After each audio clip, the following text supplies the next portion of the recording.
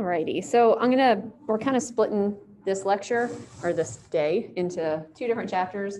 I know we've talked a lot about tissues. The, the PowerPoint, this is the PowerPoint I posted on Canvas for, I think I called it histology abbreviated or something. This is just sort of a, um, a summary of some of the main points of that tissue chapter.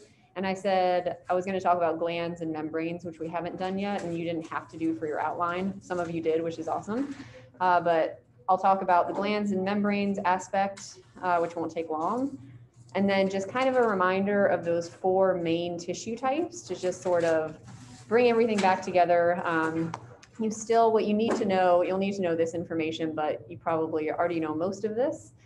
Uh, but you also want to know the info that's in those tables that I sent earlier this week, the 5.2 to 5.11 tables in your text. That's the information, that's where I'll pull questions from on some of the more specific tissue information like locations and functions for the exam. This is just sort of wrapping it up, kind of bringing it back together, reminding you of a few of the main points. And then that should take probably half the class, and then the other half will get into chapter six, which is the integumentary system, the skin. Um, and don't forget your chapter six outline is due on Monday. Okay, I think that's it. Any questions before we get started here? All right, so yeah, this is just gonna be kind of a heavy lecture day. All right, so first histology. You guys know this information already, hopefully. Histology, when you hear that word, it just means we're studying tissues and it's kind of at the, not kind of, it is at the microscopic level. So we're looking at slides basically of a bunch of cells packed together, working together as a tissue system. The four broad categories of tissues, you want to know these by heart. You have the epithelial, connective, muscle, and nervous tissue. So what I'm going to do, other than the glands and membranes, is kind of like I said, just give you some of the main points that you should associate with each of these tissue types. We're going to be coming back to these epithelial, that's your skin basically. So the next chapter will be focusing on epithelial tissue in a little bit more detail as far as how the skin works. Connective tissue, we'll talk about bone tissue specifically in the bone tissue chapter. We'll talk about the nervous tissue towards the end of the semester.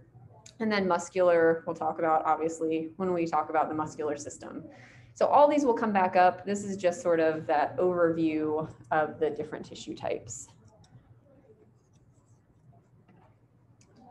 So first, um, some of the basics of epithelial tissue that you definitely want to understand.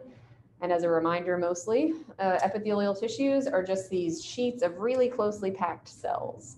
So they're all packed really close to each other. They're connected to each other to kind of create this barrier.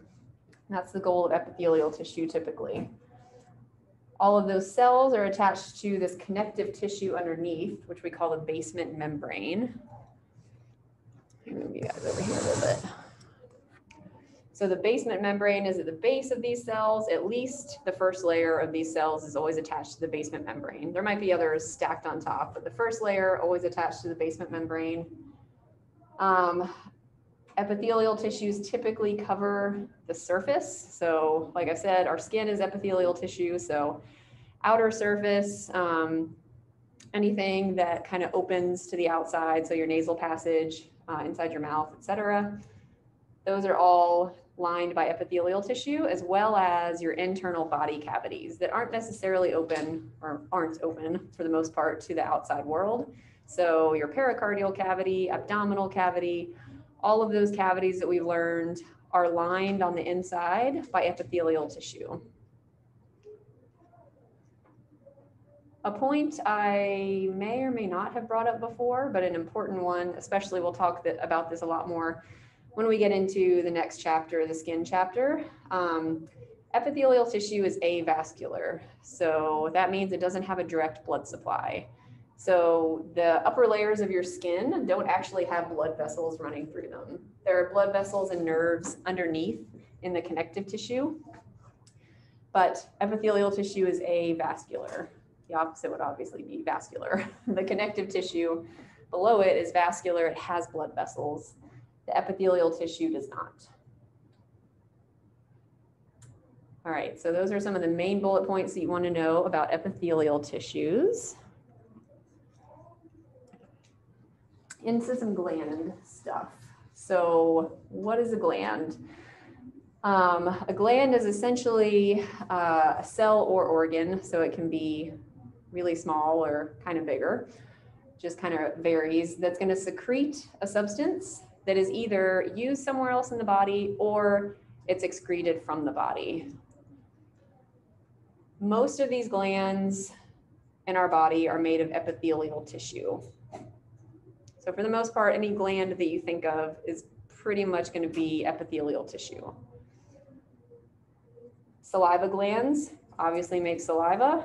They are creating and secreting saliva, um, and they are epithelial tissue. Uh, sweat glands, we'll get into those when we talk about the integumentary system. Those are made of epithelial tissue. They're obviously secreting sweat along with some water with other stuff. Um, adrenal glands we'll get into when we talk about the nervous system a little bit more. But these are little glands that sit right on top of your kidneys. They're really important in controlling some of the unconscious aspects of our nervous system. But all of those, they're kind of obviously very different salivary glands versus adrenal glands they're still all just epithelial tissue. They just are releasing something, secreting something that's either used elsewhere in the body, like the adrenal glands, they're secreting hormones. Saliva is basically, I guess, kind of used elsewhere in the body because we swallow it, but also just excreted um, and not necessarily used in the body. So it can be for elimination or use elsewhere in the body.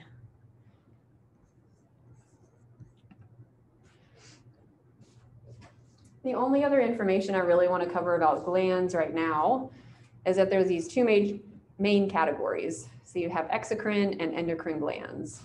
Glands are going to fall into one or the other category. The you may have heard endocrine. We've learned about the endocrine system a little bit. It's one of the 11 organ systems you need to know about. So endocrine glands are going to basically secrete hormones directly into the bloodstream. Endo means inside, so they are releasing their hormones inside the body. Exocrine are going to release something for the most part outside the body. So they're secreting a substance that is, for the most part, um, excreted or secreted onto the surface of the epithelial tissue. So sweat is a great example of an exocrine gland. It's secreting water and salt and potentially oils out onto the surface of the epithelium, so the surface of your skin. They do this by way of a duct. So there's always some kind of duct, which is just a little tube that takes from the gland area, um, takes whatever it's secreting out to the surface of the epithelial tissue. Exocrine glands have ducts, endocrine glands do not have ducts. So endocrine secreting hormones directly into the bloodstream. That would be the adrenal glands, for instance. So the adrenal glands are secreting hormones into the bloodstream. And those, I think I mentioned this before, but hormones are just chemical messengers. So they're sending a message to somewhere else in the body for that part of the body to do something. Examples here would be yeah, the adrenal, thyroid, pituitary glands. You don't have to worry about what those do right now. Just kind of recognize that those are internal glands. You may or may not have heard those terms before, but they release hormones directly into the bloodstream. Our sweat, tear, salivary glands, all of those are releasing something to the surface of our body. All right, and that's all I'm to talk about with glands as we get into some of the other organ systems. We'll talk a little bit more about them mostly in the nervous system, but exocrine versus endocrine, make sure you know the difference there. Oh, and I will talk about, yeah, sweat glands a lot when we get into the integumentary system. Okay, so on to connective tissue, our second major category of the four. Um, this is the most diverse and the most abundant tissue type in the body.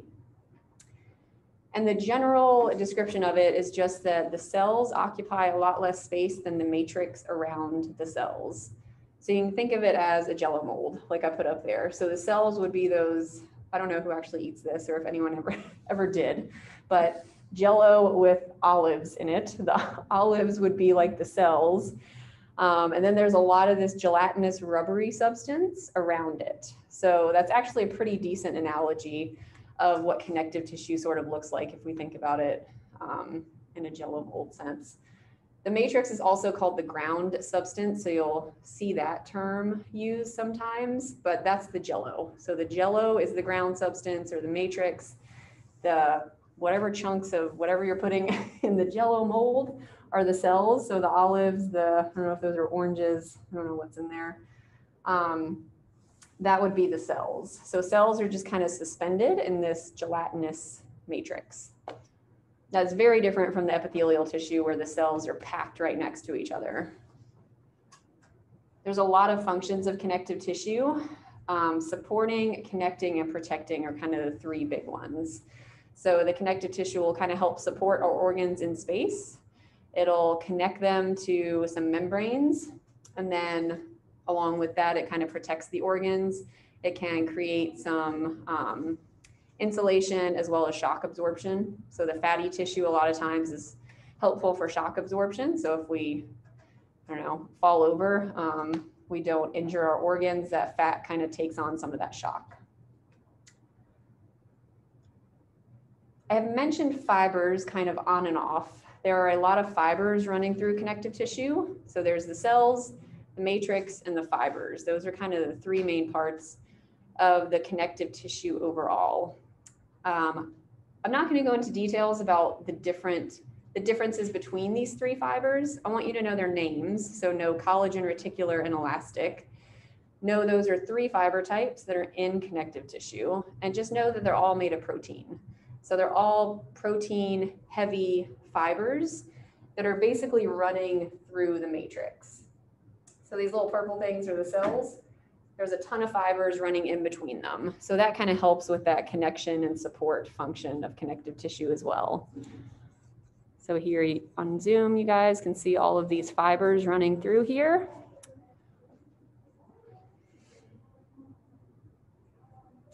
I think that's all I have about connective tissue, is it? yes. Oh, well, bone tissue. Okay, so I'm not going to go into any other specifics other than the bone tissue on connective tissue. So remember, bone is a connective tissue. It seems weird. It seems like it should be its own thing, but it's a connective tissue.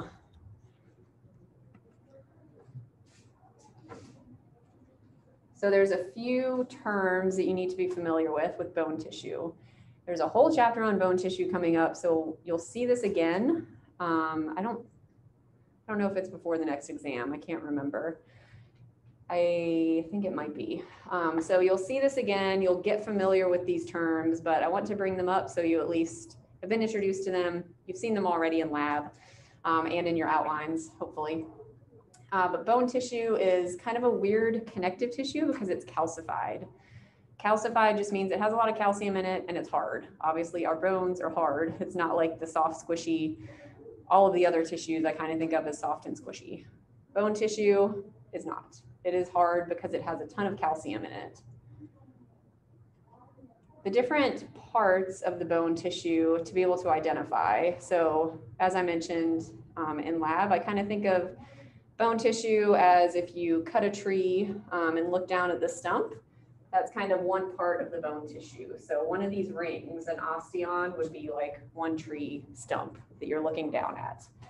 So an osteon is one of those kind of uh, these groups of concentric circles around what we call the central or haversian canal. So for you guys on Zoom, you can probably see it a little bit better on Zoom actually. It's not a great picture. Um, there's a bunch of concentric circles here. They're called lamellae. Just concentric circles of tissue around this canal, the central canal. That makes up one osteon, where that concentric circle, where those concentric circles end, and another one begins. Those are separate osteons. I don't know if that's plural, but osteons. The central canal is important because that's where the blood vessels and the nerves come into the bones. So your bones, your bone tissue, whether you know it or not, has blood vessels running through it as well as nerves. So it's innervated and vascularized.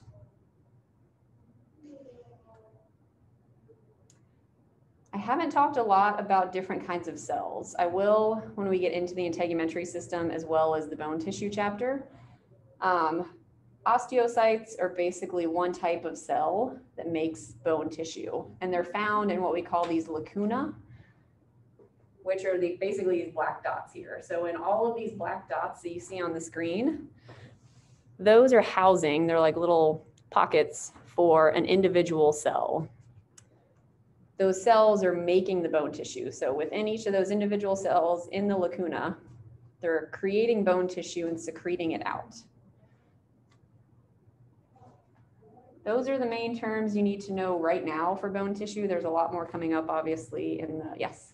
When you get a bone bruise, which one of these? Which one of these is Yeah, affected? Yeah. A bone bruise would probably go to the central canal because that's where the blood vessel is. So the blood vessel is what's gonna sort of rupture in order to create that bruise. Yeah, good question. I'm not hundred percent sure on that, but that would be my guess, but I'll, I'll look it up. I will find out.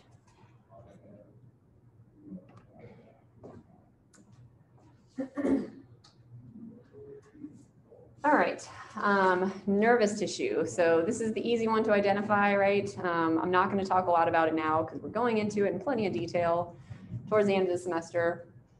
But the whole point of nervous tissue is to communicate between different areas of the body. So electrical signals and chemical signals are sent through nervous tissue in order to send messages from the brain out to other parts of the body or vice versa, from kind of lateral parts of the body to the brain. The two main cell types here, well, the only two cell types really, are going to be the neuron and the neuroglia. So the neuron is that really crazy shaped cell that has these arms and branches coming off of it. That's where signals are received or sent. We'll talk about that when we get into the nervous tissue chapter. Um, but those branches are basically where the chemicals and electrical signals are sent out or brought in to the neuron. The neuron's the main cell.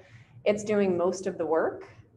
But all these other little cells around it are called the neuroglia or the glial cells.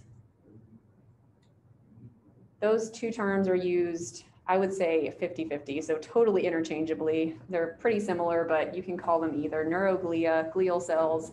They're all these little tiny dots that are surrounding the neuron, and they're kind of supporting and nourishing the neuron. So the neuron needs a lot of help, and that's what the neuroglia are essentially doing. They're kind of helping out, and there's a ton of them compared to the number of neurons. So there you see one neuron and probably 20, 20 different glial cells.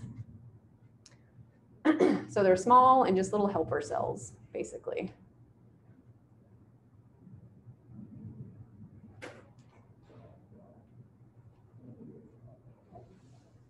All right, for now, that's nervous tissue. Just as a reminder, kind of bringing it back together, what nervous tissue is all about.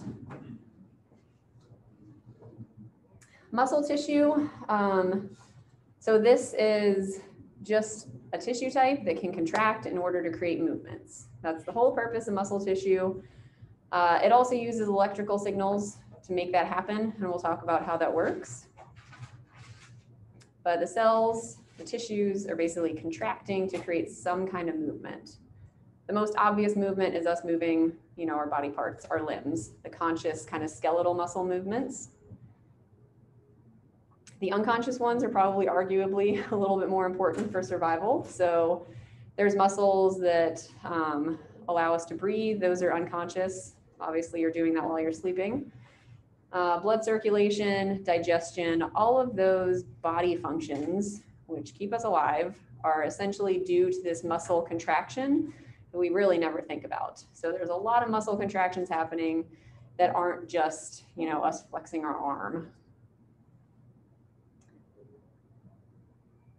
Something I haven't talked about really is that muscle tissue provides a lot of body heat. I don't think I mentioned that yet, but it's really important in our thermoregulation. So without um, enough muscle tissue, the body heat kind of balance can go out of whack. So muscular tissue is really important in creating heat because the movement basically allows for heat generation.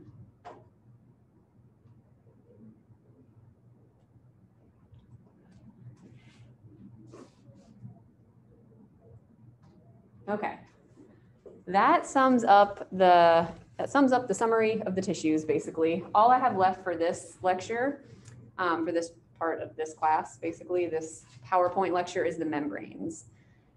Um, so I just want to briefly tell you what a membrane is, and then I'm going to tell you about the three membranes you want to be familiar with, three of the most important membranes in the body. So what is a membrane? Um, you probably have a general idea of what a membrane is. You've heard about the cell membrane. It's just kind of that outer layer. In this case, it's kind of the same idea. It's just a thin sheet of cells that's basically lining something. It can be lining the exterior part of our body, it could be lining an interior cavity, but it's a thin sheet of cells that are lining something in our body. The cutaneous membrane we're going to talk about in detail. That's just the skin. So the whole next chapter, we're going to be talking about the cutaneous membrane. It's the largest membrane in the body. It's also considered an organ, so it's the largest organ in the body. Um, what is it made of? Basically, it's epithelium and connective tissue. So you have stratified squamous epithelium, which you know is your skin. So you have many layers of those flattened out epithelial cells. That's what we call the epidermis. I'll get into this again in the next chapter.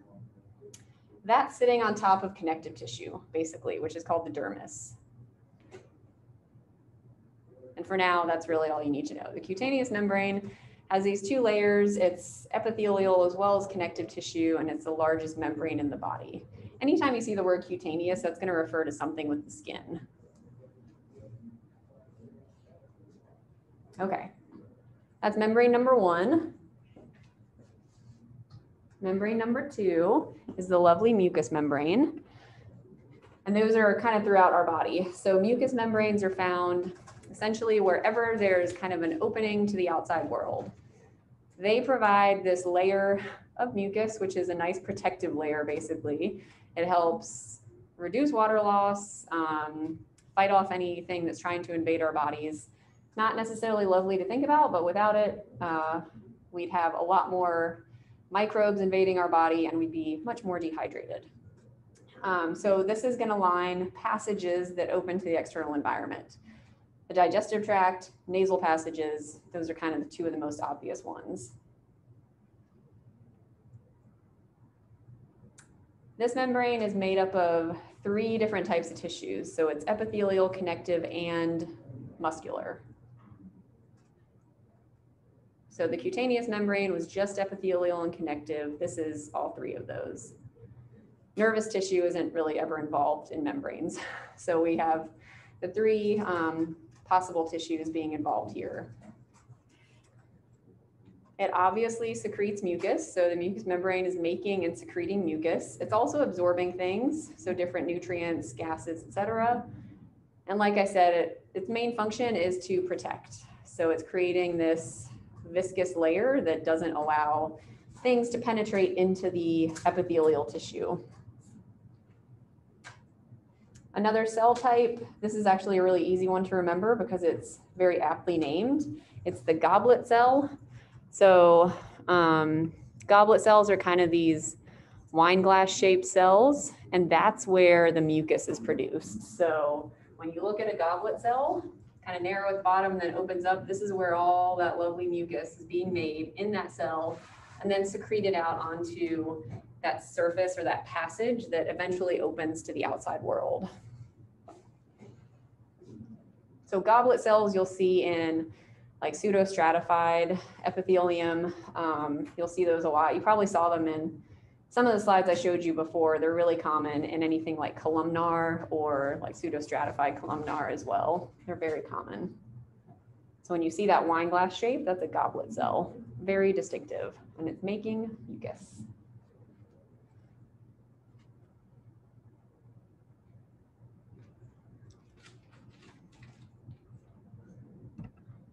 All right, and the last membrane, one we don't really think about, I mean, maybe you don't think about any of those others either, but the serous membrane is one we don't really ever experience from a conscious point of view. We experience the other two plenty. Um, the serous membrane is one that's lining all of the internal cavities of our body and our organs. So it's covering our organs, it's lining um, the abdominal cavity, the pelvic cavity, the pleural, pericardial, cranial, all those internal cavities that you've learned, they're all lined by this actually really simple, kind of thin membrane called the serous membrane.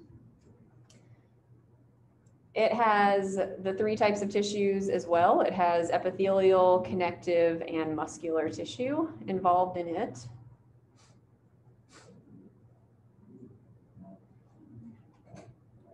So one thin layer of squamous epithelial cells, so simple squamous. There's one layer. Then you have this areolar connective tissue and then um, smooth muscle under that.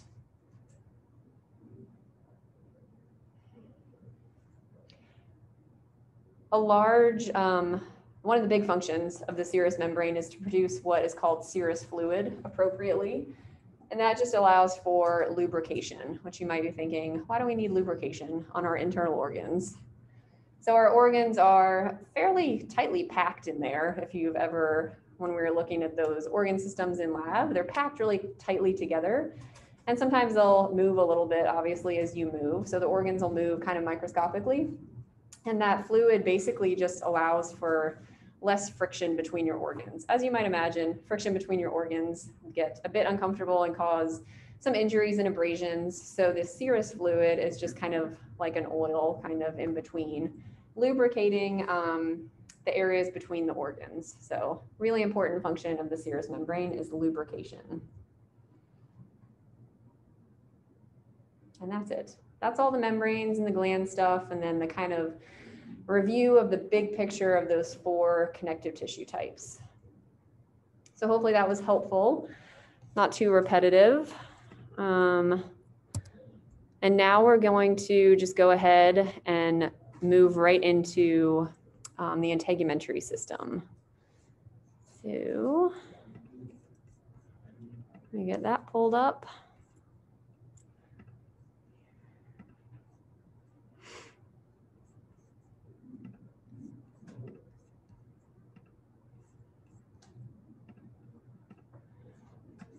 All right.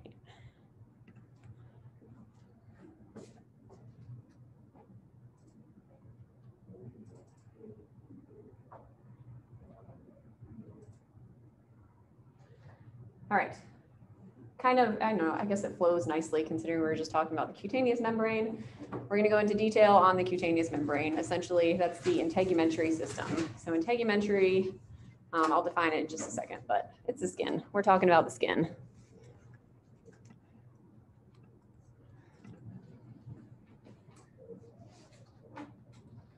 So I would say this is probably the most familiar organ to everybody. It's not like we have a lot of experience dealing with our heart or our stomach or our liver. I mean, we know they do things for us, but we don't really see them. So we don't really think about them. Um, the skin is probably the most familiar, but potentially one of the least appreciated organs. We often don't even, I mean, I don't know when I learned it was an organ, probably when I was in college. I didn't know it was an organ until I was in college.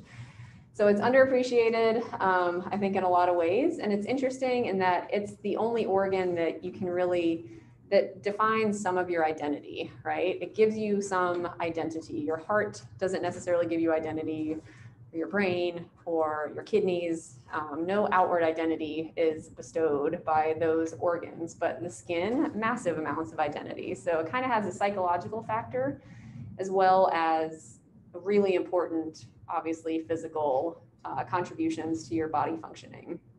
So it gives us information about our ancestry, kind of where we came from, um, our age, our past. So if you've had surgery and have scars or you have tattoos or something like that, it tells you a lot about your past, um, just you as a person, which is kind of cool. No other organ really does that. So it's an interesting and sadly, I guess, underappreciated organ in a lot of ways. The main point of the skin is really to provide protection against the elements. So it's sort of, you can think of it as like body armor. It's our body armor for our internal, more important, not more important, but really critically important organ systems. There is a ton of money that goes into um, research about the skin and from mostly a cosmetic point of view uh, from the kind of beauty industry. So there's a lot of focus on the skin from that perspective. Um, so again, it's probably pretty familiar to you.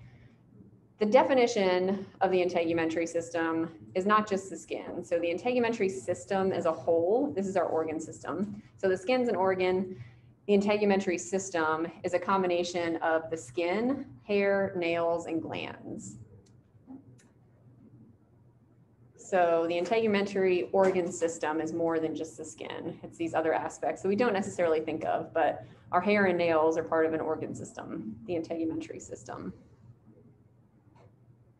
Most people know the term dermatology. It's just that's the medical part, the medical um, aspect of studying the skin, the integumentary system overall. So dermatologists are the ones that are focused in on the integumentary system in particular.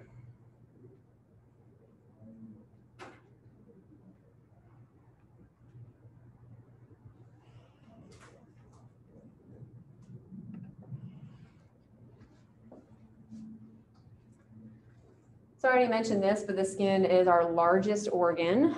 Um, it's a bunch of, it's different tissue types working together. That's why we consider it an organ, if you remember the definition. So tissues are a bunch of cells working together. An organ is going to be multiple tissues working together. So our skin is the largest and heaviest organ. You probably don't think about how much your skin weighs, uh, but it's about 16% of your body weight.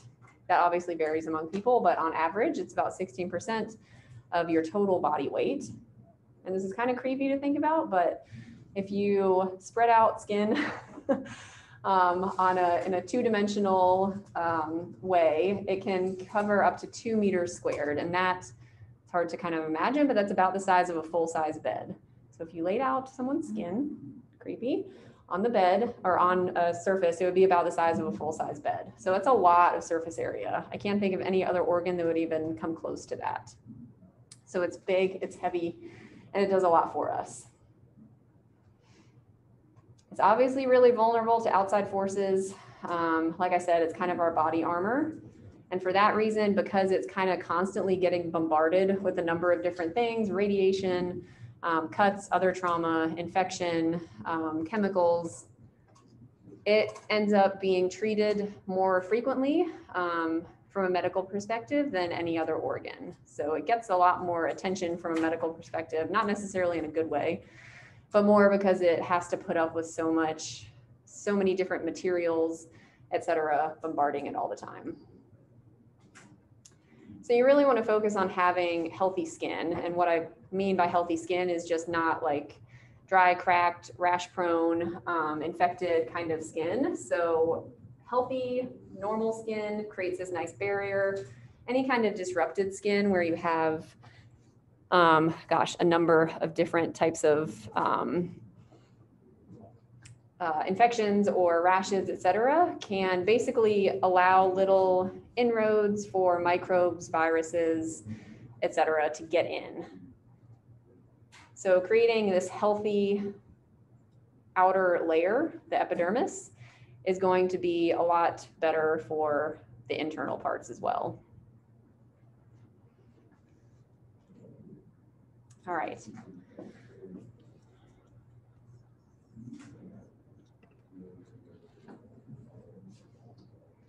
There are uh, three different layers that I'm going to talk about dealing with the skin. Um, this bottom one, which I'll talk about in a minute, is not technically part of the skin. It's sort of the underlying layer, but it's always talked about with the skin. I don't know why there's that distinction, but um, the integumentary system, the cutaneous membrane is the epidermis and dermis. So these are the two parts of the skin.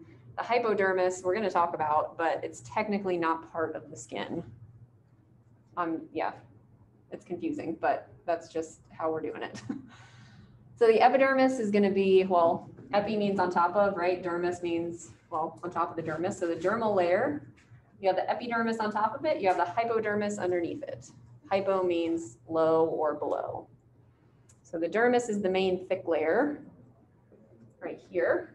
Then you have the epidermis on top, the hypodermis which is mostly just fatty tissue on the bottom. Okay, so I already mentioned this um, in the last chapter, but the epidermis is avascular. So there's no blood vessels running into your epidermis. So if you get a cut and you start bleeding, you've cut down to the dermis because it's vascular. So you've gotten down to that second layer, basically, if you get a cut. If you've ever had a paper cut where you're not bleeding, um, you likely only cut into the epidermis or any other kind of cut, I guess. But I always get paper cuts that don't end up bleeding. So I think of those first. That only, um, that would be only to the epidermis. If you're bleeding, you're getting into the dermis.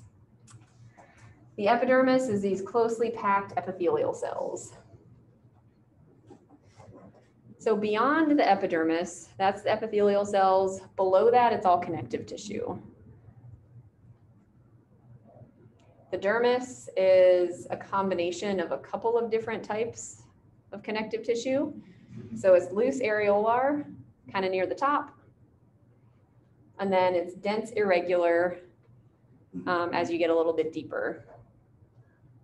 And I didn't talk about dense irregular in lab. I think we just covered dense regular, which is that wavy stuff. So you saw dense irregular in those tables um, that you're supposed to base your outline off of. The benefit of dense irregular is that it's not in those nice layers. It's just kind of randomly assorted. And that means it can absorb stress from a lot of different directions. So it absorbs stress from a lot of different directions. You can pull your skin up, you can push it down, you can move it to the side. And that um, lower dermal layer is basically going to resist all of that stress from all those different directions. So that's the dense irregular connective tissue benefit. Down into the hypodermis, again, not technically part of the skin formally.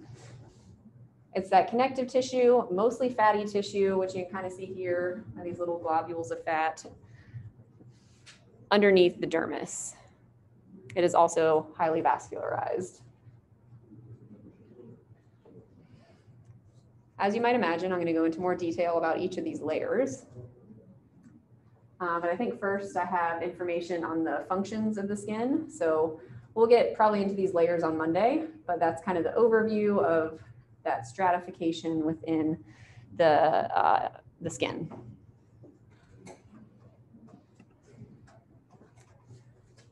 Okay, so thin skin versus thick skin. This was, I don't know if we got to this question in here on the, um, on the histology Jeopardy. I don't think so, but we have both thin skin and thick skin. Those are aptly named because the thick skin has one extra layer compared to the thin skin. Thin skin is essentially everywhere on your body other than the palms of your hands and the soles of your feet. Thick skin is only on the palms of your hands and the soles of your feet. Thin skin has four layers. We'll learn what those are. Thick skin has five.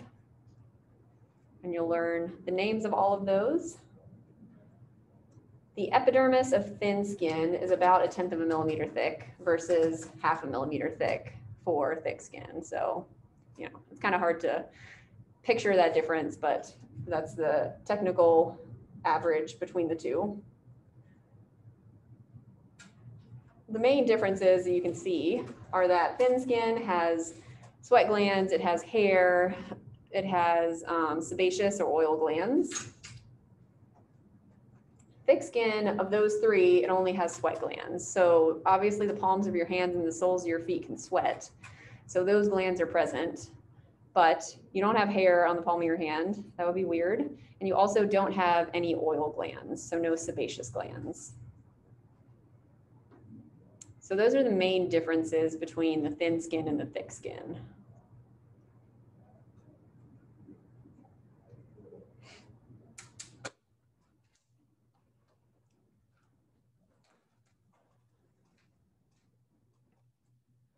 Now into the functions. So I've already talked about uh, this barrier function. So that's what I'm going to focus on here in a couple different ways. So the skin can resist trauma and infection. By trauma, I mostly mean lacerations or cuts. Um, up to a certain extent, obviously, you still get cut. Um, that's due mostly to a protein called keratin. So keratin is a really tough protein. I mentioned it in here a little while back when we were going over um, some of the chemistry stuff. Keratin is useful in kind of preventing that infection and trauma. And interestingly, your skin, your sweat glands basically release a natural antibiotic as well. So they're releasing something called dermcidins. Those are going to sort of prevent overcolonization by microbes. So you have microbes and bacteria living all over your body. Too much of them is not good. So your sweat glands are essentially releasing this natural antibiotic to keep them from sort of taking over too much.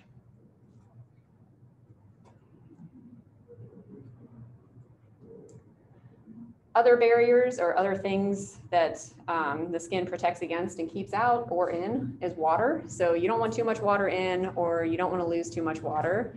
So the keratin is also beneficial for that. Keratin helps keep water in or too much excess water out. Along with glycolipids, you don't really need to know exactly what glycolipids are, but they're lipids with a little carbohydrate chain attached. They're going to help reduce water loss as well. UV radiation, basically anytime you step outside, you're exposing your skin to UV radiation from the sun. So if your deeper layers were exposed to UV radiation, it would cause some major problems. They're not really dealt, they're not really built to handle that or deal with the UV radiation. So your epidermis is really good at kind of stopping the UV radiation before it gets into the deeper layers where it would cause some major issues.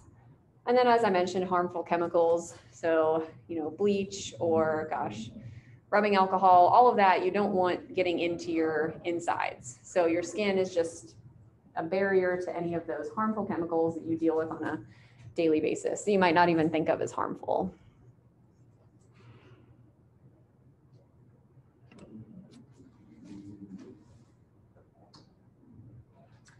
You may not know this, but your skin is really important for actually producing vitamin D as well. Does anyone know what vitamin D is good for? Energy? Kind of. It makes something strong. What do you want to be strong in your body? Everything, but bones, yeah. So your bones and teeth.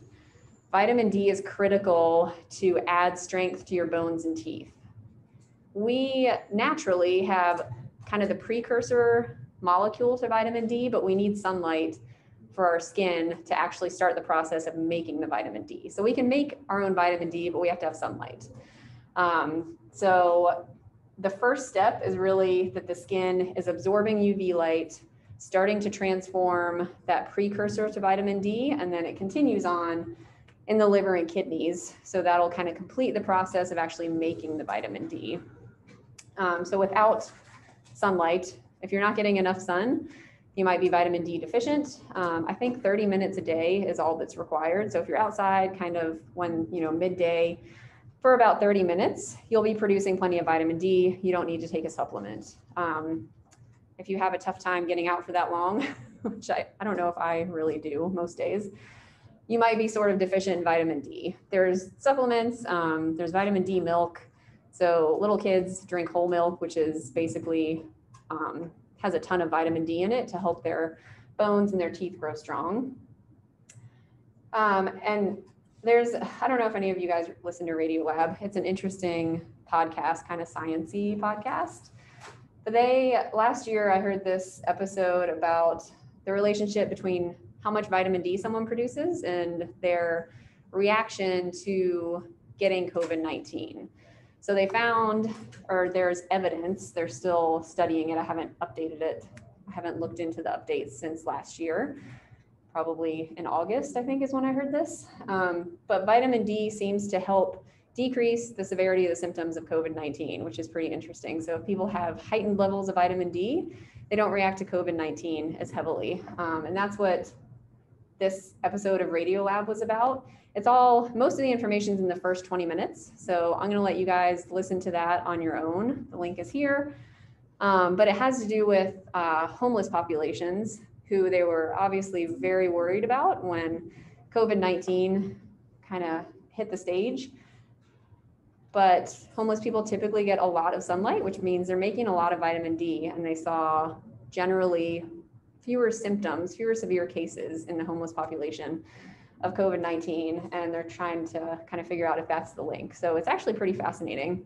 It's only 20 minutes, so take a listen to that um, whenever you get a chance.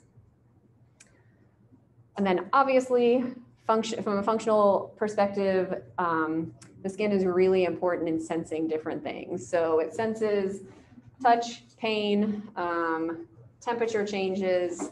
It's sensing all kinds of different things on a basically second by second basis.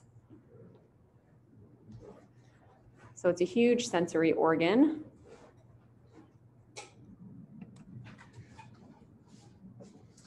And then the last one, this kind of relates to the sense sensory organ aspect or sensory reception aspect of skin, um, thermoregulation. Thermoregulation is one of the main functions of skin. Um, it has thermoreceptors in it, so it can tell if you're hot or cold. And then it can react based on whether you're too hot or too cold or kind of in the happy, happy area in between. So a couple of different things can happen in order to regulate your temperature. Vasodilation and vasoconstriction are two of the main ones, along with perspiration. I think everyone knows when you sweat, you're releasing heat because you're releasing that water, which holds on to a lot of heat. So perspiration is a big way that the skin can kind of bring the body temperature back down. Vasodilation, when you see that term, it means that your blood vessels are dilating or becoming larger in diameter. That is increasing the surface area, which means more heat can be released. Vasoconstriction is the opposite. So your um, blood vessels are going to constrict, kind of shrink down, and that will keep as keep heat from being lost. Another kind of cool aspect of this is whether you're in a cold climate versus a hot climate, your blood flow will actually change. So some blood vessels will no longer get blood if your body needs to hold on to heat.